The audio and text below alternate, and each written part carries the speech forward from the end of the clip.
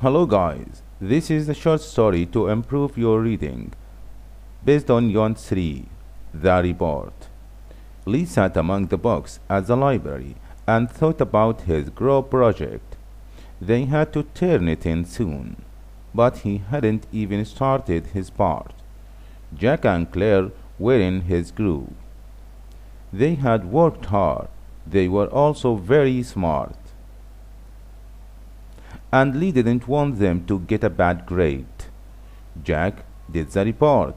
He wrote a lot of very good sentences and described things with great adjectives. Claire drew a nice map of the stars. Now Lee needed to do his part of the project. Well, I suppose I need to start my model, Lee thought.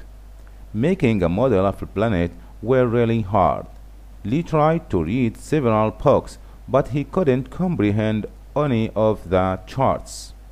We are going to fail because of me, Lee said. He put his head down on the table and said, I wish I could see a planet instead of having to read about it. Suddenly, there was a bright light. Lee was pulled from his chair, through the roof and light into a strange shape. Hello, kids, said an alien. Did you ask for help? Lee told the friendly alien all about his project. The alien agreed to help Lee solve his problem. First, we'll fly through space to view the universe.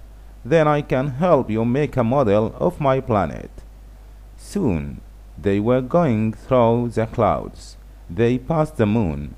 Then they viewed Mars. Lee was very excited. Instead of a bad grade, his group will have the best project ever. It's time to go home, the alien finally said. On the way back, he helped Lee make a model of the planet Mars. Soon they were on Earth. Thanks, Lee said. My model will be awesome. Then he took his model and said goodbye to his new friend. Thank you. Don't forget to subscribe and make me a like.